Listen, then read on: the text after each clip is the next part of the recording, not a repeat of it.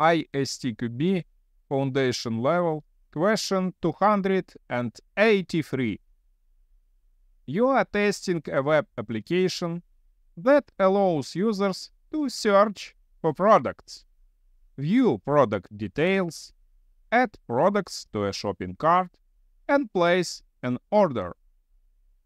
You have prepared the following five test cases, which you want to execute according to their prioritizers.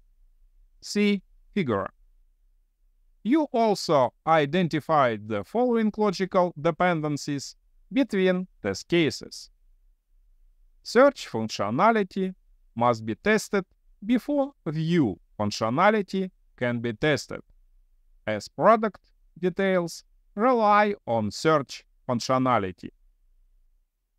View functionality must be tested before add functionality, as adding products relies on the availability of accurate product details.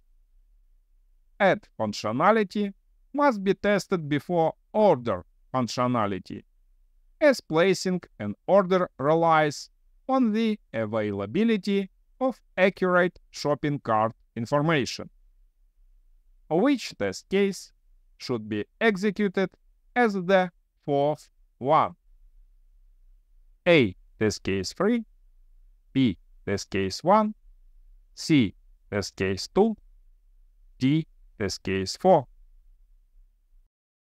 Take a moment to subscribe to my channel and hit the bell icon to don't miss new ISTQB questions and answers that will help you guaranteed enhancing your skills. Join us on this learning journey. If you find value in that I do, and my videos help you, then you have the option to donate through the links in the video description to I can release new videos on ISTQB questions on a regular basis. To answer this question, you need to figure out prioritizers and dependencies according to ISTQB syllabus. Let's look at all the prioritizers shown in the picture. According to the dependencies, search tests must be executed first, then view tests, then add tests, and at the end, order tests. Within each of these groups, the order is determined by the prioritizers of the test cases.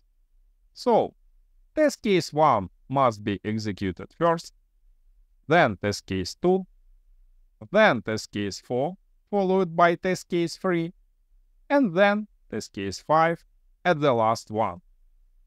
Test case 4 has high priority, and test case 3 has medium priority. So, the ordering is test case 1, test case 2, test case 4, test case 3, test case 5. This means test case 3 is executed fourth and the correct answer is A. Answers B, C, D are wrong. My recommendation pay attention to prioritizers and logical dependencies. Explanation.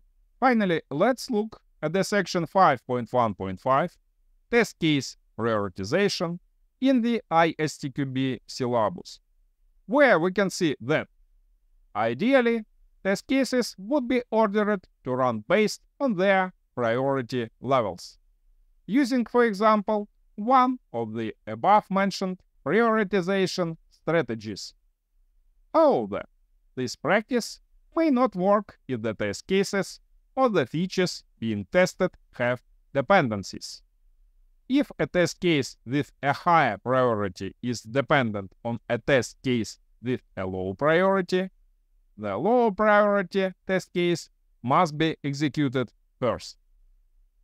This is fully consistent with the test execution analysis and correct answer A. I do think that you are an incredibly talented person And I believe your dream comes true. Never give up.